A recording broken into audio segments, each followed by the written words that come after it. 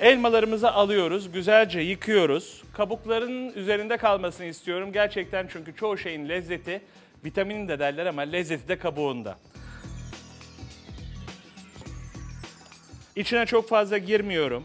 İnce ince elmalarım hazır. Bir kenara alıyorum. Bunları en sonunda kullanacağım.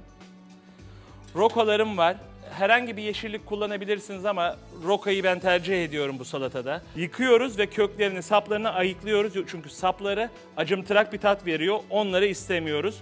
Bu rokaları salatamızın altında kullanacağız. Rokalarım da hazır. Bunları alalım, koyalım. Vişne reçelim var. Bu salatanın temelini oluşturan. İçine bir parça vişne reçeli koyuyorum. Taneleri de koyabilirsiniz, kendisini de koyabilirsiniz. Ben birkaç parça tanelerden de koyayım. Tatlımı koydum reçelle. Şimdi ekşi koymam lazım. Bir parça limon koyuyorum. Daha sonra ekleyebilirim ama çıkartamam. Tuz ve karabiberi koyuyoruz. Yani tuzluyu ve acıyı koyuyoruz içine. Birazcık da nar ekşisi kullanıyorum. Ben nar ekşisine bayılıyorum. Hemen hemen her yemekte kullanıyorum. Salatalarımda mutlaka kullanıyorum. Şimdi başka bir püf noktası da vinigret yapmanın yağı yavaş yavaş yedirmek. İki tane yağ aldım. Bir ayçiçek yağı daha açık renkte olan bir de sızma zeytinyağı aldım. Önce zeytinyağıyla başlıyorum çünkü biraz kıvam vermek istiyorum, lezzet vermek istiyorum. Neden her iki yağı birden kullanıyorum? Eğer sadece zeytinyağı kullanırsam gerçekten çok baskın bir zeytinyağı tadı oluyor. Bütün bu tatlı, tuzlu, acı, ekşinin önüne çıkıyor. Onu ayçiçek yağıyla daha tadı nötr olan bir yağ ile kırıyorum. Bir miktar ayçiçek yağı da salata sosunuzda kullanmanızı tavsiye ederim. Azar azar koyuyorum ve karıştırıyorum. Damla şeklinde, ip şeklinde gelecek şekilde yediriyoruz. Esasında ne yapıyoruz? Çayın içine şeker atmak gibi bir şey. Bir daha içinden çıkmasın diye de karıştırıyoruz. Ne kadar iyi bağlarsak başta o kadar iyi. Sosumuz o kadar az kırılır ve daha sağlam olur. Koyuyorum. Bir parça da ayçiçek yağı koyuyorum şimdi. Kıvamı elde ettikten sonra şu an burnuma gelen en baskın koku zeytinyağı kokusu. Bu ayçiçek yağını kullanmamın amacı da o baskınlığı biraz azaltmak. Diğer aromalara yer vermek, şans vermek.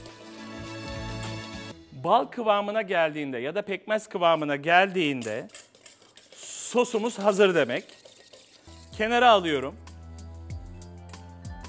Başka bir kabımı alıyorum. İçine rokalarımı koyuyorum. Sosunuzu her defasında kullandığınızda bir miktar çırpın ya da çalkalayın. İçerisine dökelim.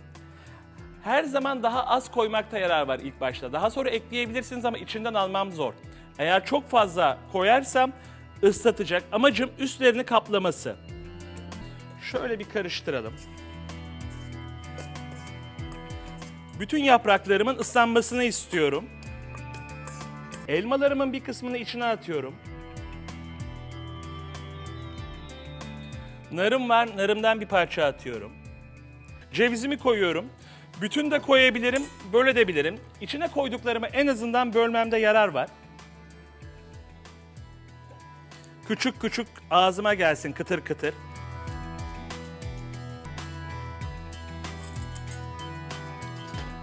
Bir miktarda lor koyuyorum. Bunları da karıştıralım vinigretle. Elimizin lezzeti yemeğe geçsin derler şefler.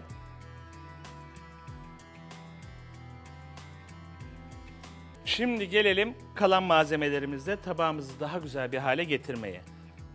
Rastgele atabilirsiniz.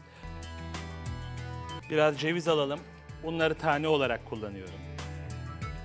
Biraz lor peyniri alalım. Hafif kıralım.